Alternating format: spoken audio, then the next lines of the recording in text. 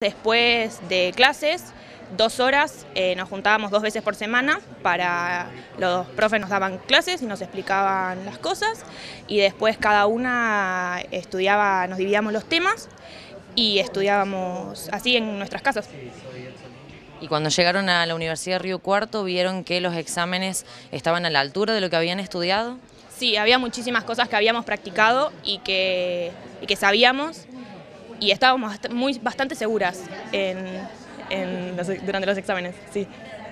¿Y ahora qué significa para vos tener por segundo año consecutivo la medalla dorada?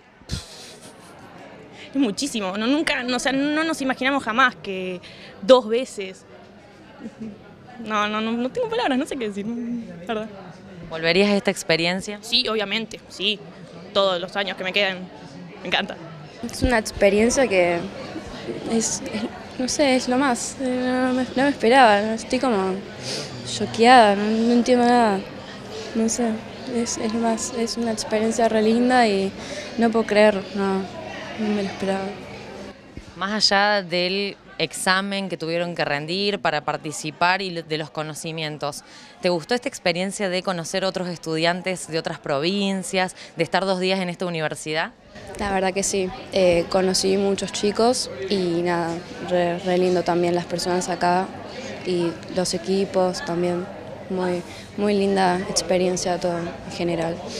¿Te gustó esta universidad? ¿Volverías? Sí, re linda, es muy grande y nada, me gusta que sea tan natural, pero más allá de la seguridad o la inseguridad, eh, siempre han estudiado mucho, se han preparado mucho para estas Olimpiadas. Sí, la verdad que sí.